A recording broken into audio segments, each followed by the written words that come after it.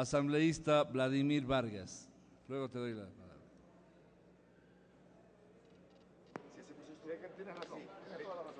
Señor presidente, compañeros asambleístas, la urgencia de este proyecto de ley, tengo entendido, y así creo todos los entendemos, es la ayuda inmediata que se debe dar a nuestros hermanos haitianos luego del devastador terremoto ocurrido en, el territorio del en su territorio el 12 de enero del presente año. ¿En qué puede beneficiar el derogar el artículo 38 de la Ley de Migración en forma particular y específica a nuestros hermanos haitianos? Pues este artículo derogado estaría beneficiando a ciudadanos de todas las nacionalidades que se encuentren en forma irregular en nuestro país. Quiero recordar que los ciudadanos extranjeros saben de antemano a su ingreso a nuestro país que solo pueden permanecer por no más de 120 días y que para seguir gozando la calidad de turista puede optar por una extensión de la misma. Luego de eso estaría infringiendo la ley. Por lo tanto, es un medio de, disuasión, pues es una multa para personas que quebranten las normas legales de migración, porque sí existe falencia y muy grande en el control de inmigrantes. Derogando este artículo, indirectamente se estaría contribuyendo a regular a los extranjeros que se encuentran en nuestro país de manera ilegal el derogar el artículo 38 no es materia de, entre comillas, urgente económica con la que se envió este proyecto y de la forma que se le está tratando. Cuidado sea el de ayudar a ciudadanos extranjeros que necesiten mayor tiempo que los 120 días que da la ley para un extranjero pueda legalizar o regularizar su prolongada estadía para poder trabajar en nuestro país. Yo pregunto, ¿por qué en un país en donde tenemos un índice de desempleo tan elevado, debemos ahora beneficiar a ciudadanos extranjeros para que puedan tener esta opción y no pensar en dar facilidades, oportunidades y beneficios a nuestros hermanos ecuatorianos pobres y a millones que emigraron y lo siguen haciendo de nuestro país y que realmente lo necesitan? para quienes sí tenemos la obligación de crear las condiciones de vida para cubrir estas anheladas esperanzas. Compañeros, para que nosotros sigamos abriendo nuestras fronteras al mundo, debemos hacerlo de manera que exista un concepto y un sentido de reciprocidad que se debe seguir a través de tratados y convenios bilaterales o regionales con los países amigos como el que nació en el seno de UNASUR justamente para resolver y coordinar una ayuda regional a la República de Haití. Pero no nos sigamos equivocando en insistir en hacerlo en forma unilateral. Se nos explicó por parte de las autoridades pertinentes y representantes de organizaciones que visitaron nuestra comisión a propósito del debate de este proyecto de ley que existe falencia en el control de los migrantes que la multa no representa un ingreso importante para la economía del país y que más bien financia una unidad de la policía como la de inmigración,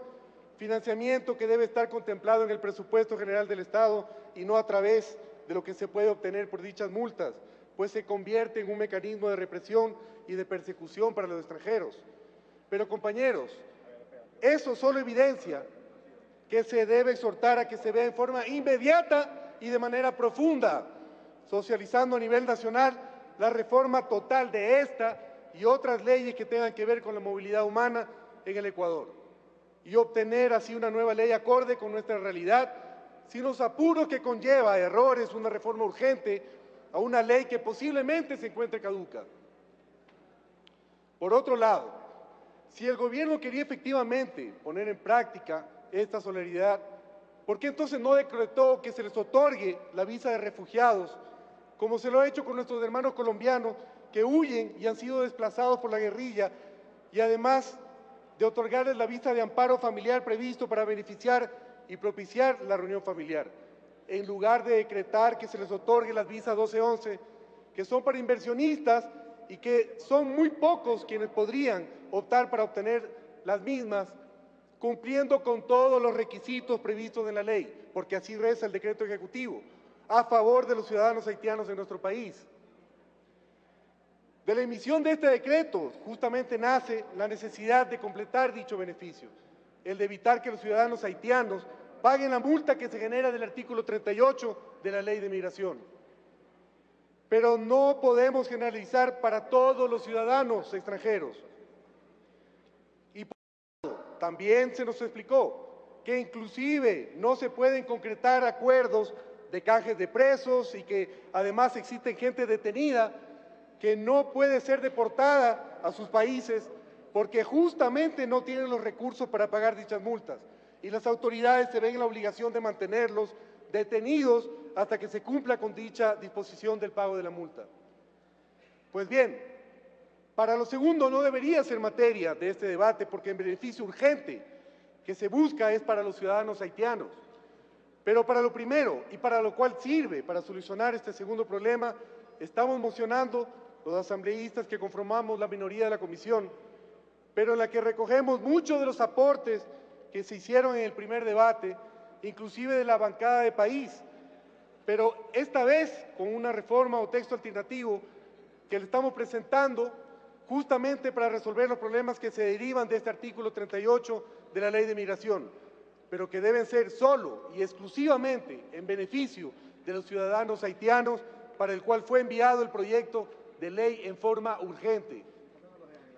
Esta propuesta no deroga el artículo 38, sino que aumenta un texto con el fin de exonerar dicho pago para quienes estarían en condiciones de deportación. Y por otro lado, quedan las disposiciones transitorias tal como se nos presentaron en el segundo debate de la comisión, para justamente beneficiar, repito, a quienes necesitan esta ayuda en forma urgente, que es decir, los ciudadanos haitianos. Pero nosotros fuimos más allá, solicitamos que también sea extensivo para nuestros hermanos chilenos, que seguramente muchos de ellos están en nuestro país en las mismas condiciones, pues sufrieron la misma catástrofe que el pueblo haitiano y creo que debemos solidarizarnos con ellos también. Compañeros asambleístas, esta moción ha sido generada con el interés sincero y real de tratar de llegar a un consenso que beneficie a quienes en este momento todo el Ecuador y el mundo entero se debe para aplacar en algo la desgracia que deben estar viviendo nuestros hermanos haitianos y chilenos. No nos acojamos de esta desgracia para desviar dichos beneficios a quienes en este momento no son fruto de esta urgencia.